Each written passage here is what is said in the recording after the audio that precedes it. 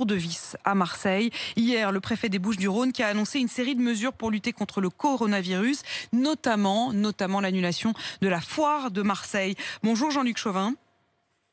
Bonjour.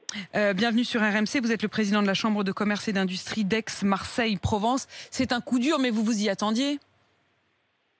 Écoutez, on pouvait effectivement, avec la montée euh, des résultats sanitaires euh, et la dégradation, en tout cas, des résultats sanitaires, la dégradation du nombre, enfin le nombre de personnes hospitalisées, on pouvait se, dire qu'il y avait un risque important pour la foire de Marseille.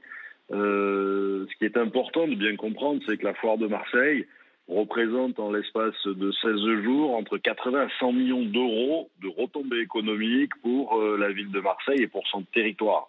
Donc c'est quelque chose de vraiment conséquent euh, pour notre économie locale. Qu'est-ce que euh, Qu'est-ce qui est proposé aux entreprises qui ont déjà déboursé pour pouvoir participer à cette foire, qui auront non seulement des frais engagés, mais aussi, on l'imagine, des retombées en moins et donc un chiffre d'affaires grévé? Alors en réalité, il y a environ 1200 euh, exposants euh, chaque année à la foire de Marseille, plus toutes les entreprises du secteur de l'événementiel, entreprises déjà très fortement impactées euh, par le coronavirus. Donc il y a bien sûr les frais déjà engagés, notamment les, frais de réservation d'espace qui leur seront remboursés. Mais nous, au-delà, au titre de la Chambre de commerce et d'industrie d'Aix-Marseille-Provence, nous réclamons la mise en place d'un fonds spécifique euh, entre la région qui est chef de file économique et l'État pour venir indemniser les entreprises, donc les exposants, de leur perte de chiffre d'affaires et pour venir indemniser euh, les entreprises événementielles. Il faut savoir qu'un grand nombre d'exposants font entre 40 à 50 de leur chiffre d'affaires annuel pendant la période de la foire en remplissant leur carnet de commandes pour les six mois à venir. Qu'est-ce que vous, qu'est-ce qu'ils vous répondent quand vous, quand vous demandez ce plan, euh, ce plan d'aide spécifique pour les entreprises qui devaient y participer, qu'est-ce qu'on vous répond?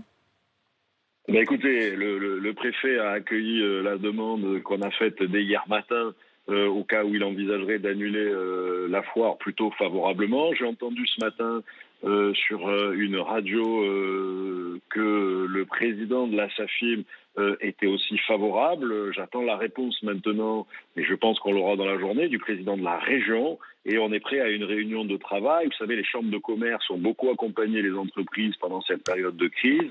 Et donc, euh, nous sommes à la disposition de l'État et de la région pour piloter ce fonds euh, d'indemnisation des entreprises et pour faire en sorte que les entreprises puissent survivre. La réalité, c'est qu'un millier d'entreprises au moins est menacé par l'annulation de la foire et donc avec tous les emplois qui sont euh, derrière concernés. Si on ne sauve pas les entreprises, on ne sauvera pas les emplois. Donc un millier, un millier d'entreprises, un millier d'entreprises qui sont donc euh, menacées par ces décisions. Merci beaucoup euh, Jean-Luc Chauvin, président de la Chambre de commerce et d'industrie d'Aix-Marseille-Provence. Aix-Marseille-Provence, on a bien compris, vous demandez un plan d'aide spécifique. Réponse peut-être dans la journée.